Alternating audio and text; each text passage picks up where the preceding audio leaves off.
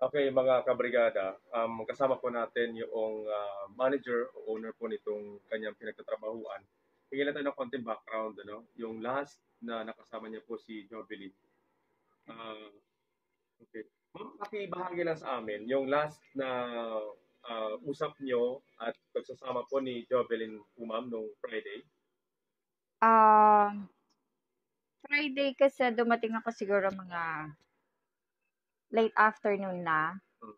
Tapos, ah, lagi naman, I mean, lagi naman ganun eh. Ah, kasi opening siya, so closing ako.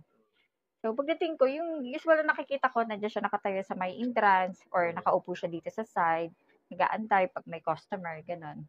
Wala naman ako napapansin na kakaiba. Yung tipong parang aburido siya or problematic siya. Wala. Yung usual lang na Jovelyn na tahimik, ganun.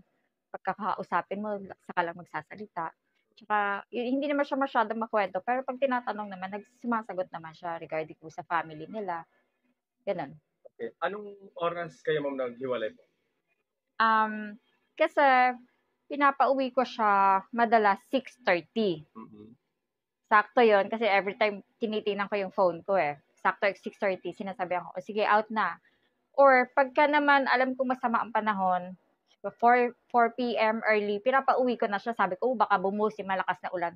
Uwi ka na. Kasi alam ko, malayo yung inuuwian niya, Santa Lourdes. So, nung araw na yon eksakto, sabi ko, uwi ka na job. Umuwi na siya, dala niya yung backpack niya. Nakasmile pa nga siya kasi parang nagbibiruan pa sila nung eldest ko, anak kong babae. Tapos kaya hindi ko, wala akong iniisip na may ibang possible na mangyari sa kanya. Yun ngang nawala siya. Kaya nagulat din ako around 11 midnight, nag-chat sa akin yung friend niya nakakilala ko rin, tinatanong kung kasama ko daw ba si Job. Mm. Sabi ko, hindi. Bakit? Kasi pinauwi ko na siya 6.30. Sabi nga, hindi pa raw nakakauwi sa kanila. So, nagulat din ako. Sabi ko, bakit? Nasaan siya? Hmm. So yun yung last na ano nyo. Pero Yes. wala mang before nung biyernes na usapan, parang may na-i-share sa inyo na meron siyang boyfriend or any kasama po. Alam ko walang boyfriend si Job. Hmm. At saka simula nang pumasok siya dito, hanggang sa last day na magkasama kami, never ko siyang nakitaan na may nagsundo sa kanya. Kasi, syempre, pag may boyfriend, kahit papano, kahit isang beses, ma- makikita ko yun eh. May magsusundo sa kanya. Pero wala eh. Okay. Nung pag-alis niya dito, ma'am, walang sundo sa kanya. Wala din. Okay. So Wala. yung routine niya, regular lang na lalabas. Yes, yun. Lalabas siya, uuwi. Tapos, pagka minsan tinatanong ko siya, nakauwi ka na? Yes, ma'am, sa bahay na ako. Tsaka lagi ko sinasabihan siya pag nag- uuwi na siya na mag-ingat ka, ingat, ingat, ganon. Okay. Pero any kung sa relationship, walang nabanggit.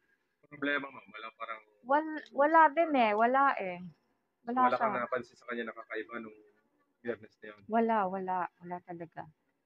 So nalaman nyo, gabi na, nung Yes. hinahanap na siya. Gabi na, 11, past 11, nakahiga na ako, tutulog na, tapos nagulat nga ako na may chat ako na-receive na tinatanong.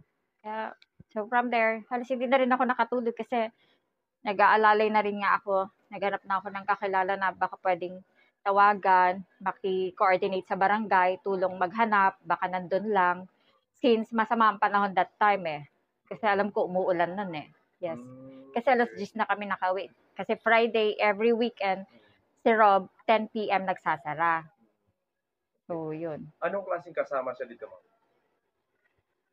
Si Jovelyn yung tao na sobrang mapagkakatiwalaan talaga siya. I mean, ilang beses ko na rin na-try, na prove na talagang mapapagkatiwalaan siya. Maasahan mo siya sa lahat.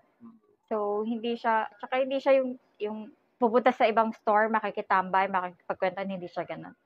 Hindi. Hmm, okay. Kaya ma'am, bilang kasamahan niya rin po, anong gusto niyong panawagan uh, kay Jovelyn or baka sa kasama niya or ano man anong sinabi po ngayon?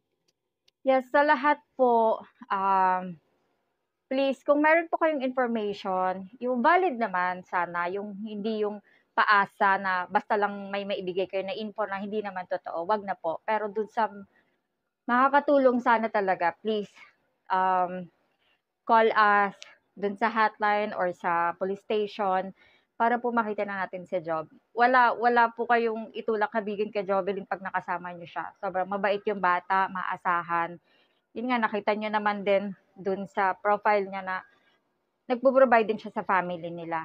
And kahit ako, tinutulungan ko din siya pag may kailangan siya sa school, kahit 4 days pa siyang absent, sinusuportahan ko siya kasi alam ko kung ano yung, yung gusto niya, yung may pangarap siya, gusto niya makatapos.